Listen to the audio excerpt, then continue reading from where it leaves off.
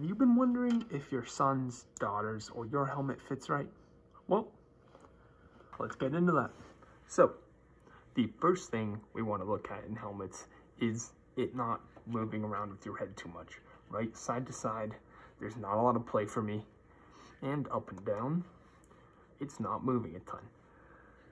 Um, if you have a, a daughter or a son or you yourself, you want to protect your head as well as you can, um, as much as you can, right?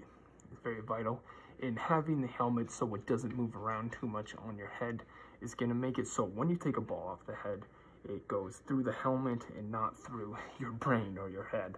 Um, another thing is, is we have a chin strap under here. You want the chin cup on the chin and the chin strap hugging the bottom of your neck, pretty much, right? You can have a little play, so it's easier to get your helmet on or off, but you want it secured and nice and tight. Another thing is, is the back plate. It should be flush or um, should be flush or almost just on the inside. Like mine is pretty much flush and just a little on the inside. That's not your ideal fit, but that's what fits for me. This is the Enemy 8 helmet. Uh, it's not too expensive, but it's also not cheap. Uh, it's protected my head good enough for many years, so we like that. Another thing is, box goalies, we have to wear these with my goalie helmet. I choose um, to wear a hockey goalie uh, neck, neck protector, uh, dangler.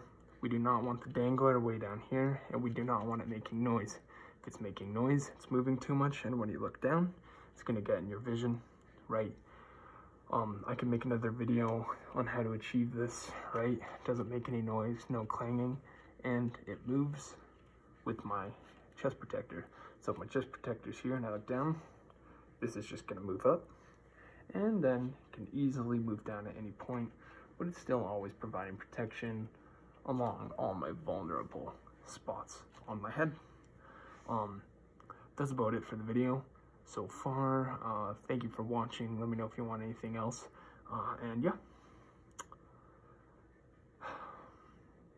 Yeah, just let me know if you guys don't want any certain videos. Let me know if you want to know how to do this knot to make it go up and down. I can do that in a separate video. Um, just stuff like that. Um, yeah, I can pretty much do anything. I love lacrosse. I love making these videos so far. So if there's anything you want to see, let me know. I'll try and make it happen. See ya.